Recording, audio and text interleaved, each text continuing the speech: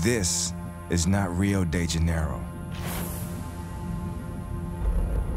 The Brazilian sun is a world away.